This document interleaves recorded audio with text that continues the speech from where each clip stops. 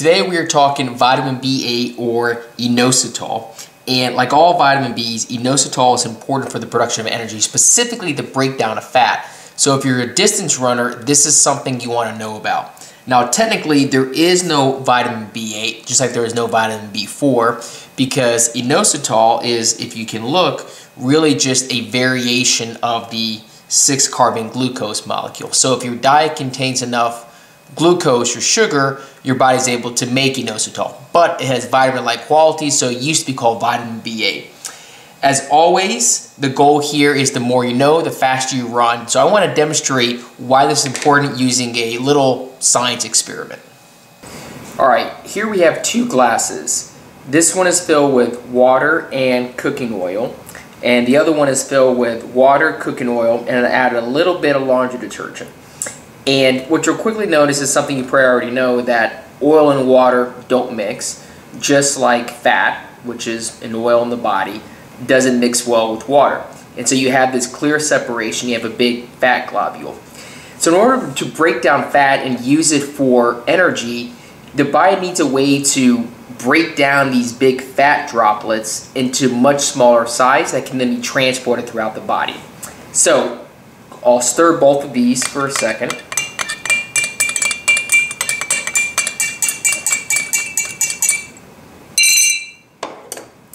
And so laundry detergent has um, agents in there that are very similar to what we'll talk about in a second called lipotropic agents. Agents that are enable the fat to be broken down into much smaller molecules and much smaller bubbles. So already you can start seeing on this one, it's quickly coalescing back into those big spherical bubble droplets we saw at the beginning.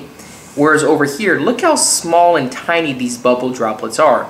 And then we can let this sit there and continue. This will all kind of coalesce into the big starting state we have, whereas these bubbles remain really, really small and tiny.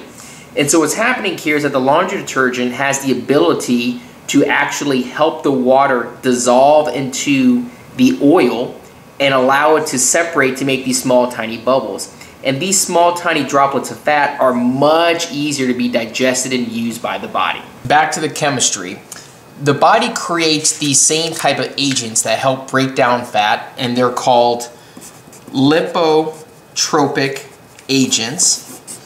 And what they're characterized are with a one end, which has a lot of polar molecules, and another end, which has a lot of nonpolar molecules. See my previous video on that topic.